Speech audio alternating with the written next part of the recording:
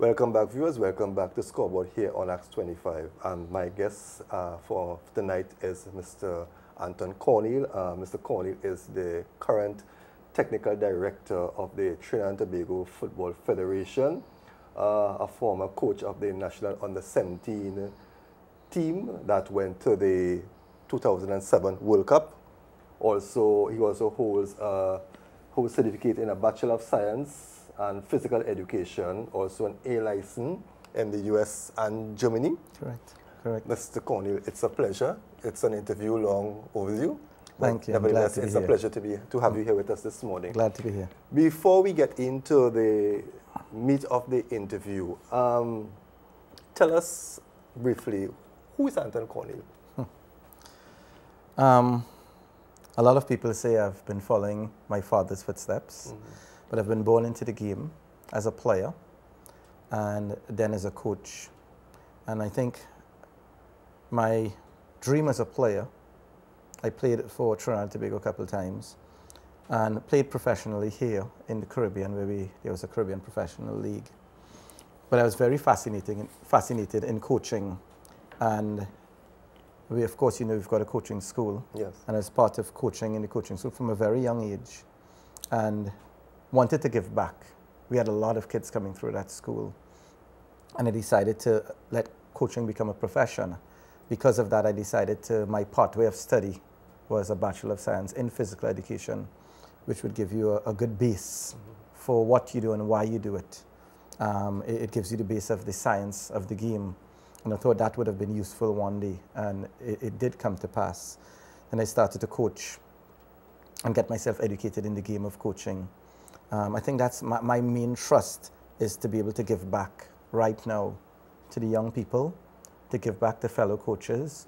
I've been very fortunate to have worked with a lot of experienced coaches, and that information needs to be shared.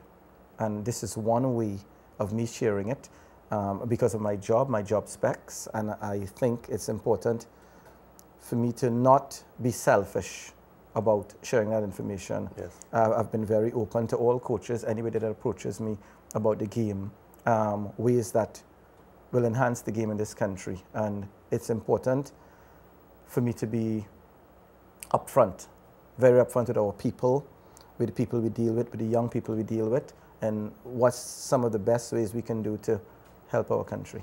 Okay. Now, that was the easy part of the interview. Now comes the hard part.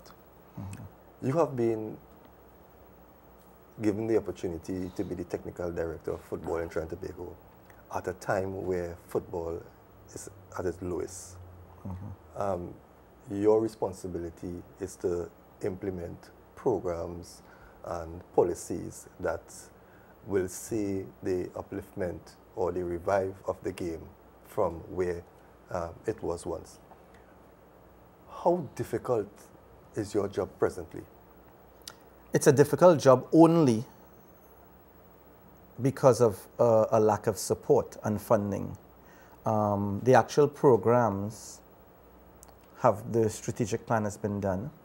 The direction that we'd like to go, it's in place. But it, it's impossible to have these programs in place without support. And I'm just talking about general financial support. We've got the zones, they all have their zonal programs. We've got our development programs in each zone, which is the elite program. It was the centers of excellence. Now it's the NDPs, which is the national development program. We've got our youth teams in place, the 17s who have now qualified for the CONCACAF level in April. Yeah. We have the 20s that are now, the U20s that are now yeah. in, they should be leaving tomorrow um, to go to Jamaica and hopefully qualify for the CONCACAF level. We've got the start of a U15 team where some of the zones are actually screening. Mm -hmm. At this time, we had a letter going out to the zones. But it takes personnel, it takes people out there. And in this day and age, we're in a, a world where these coaches are now professionals. So we have to have some type of funding, whether it's just a stipend. And if that's not given, then we have to depend on volunteers only. And a volunteer means when he has or she has time. time. So that's where it comes in, where we need that possible support. In saying that, we've done a, a, coach education program to help our coaches, to help educate our coaches, to give our coaches the opportunity to get information that's given all over the world and pass it on to our young players. We've had a, a series of courses last year and this year to help um, with C license coaches. Mm -hmm. We had the KNVB coming into Trinidad and Tobago, and we're, we're passing that information on to the coaches. If 250 coaches go out there and pass it on to 20 people, yes. then we have a lot of people gaining from that experience. So that's in place right now. We've had a couple of C-Prep license for new coaches that are starting to get themselves involved in the game.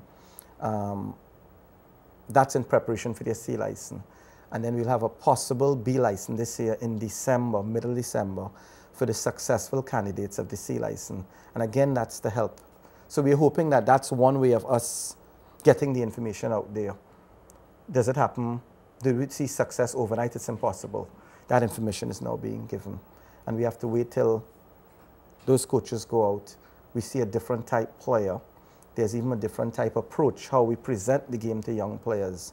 It's, it, the presentation of the game is not one directional anymore, it's two. We allow the players to be able to use their imagination, use their creativity. We must not stifle them.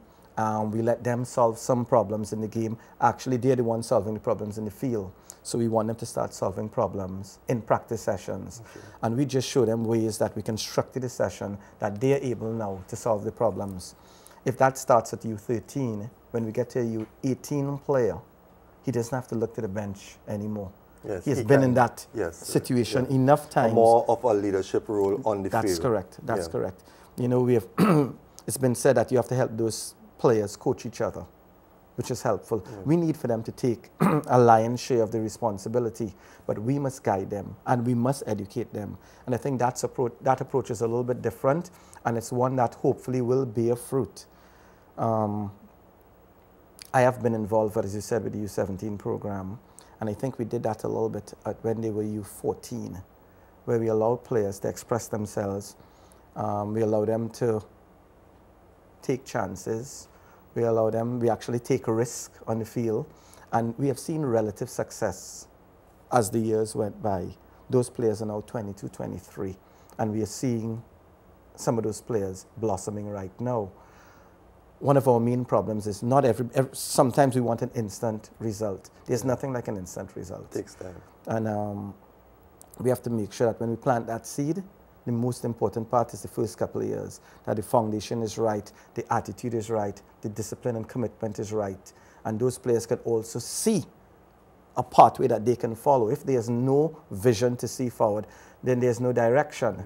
And um, hopefully, we will see better results in a few years.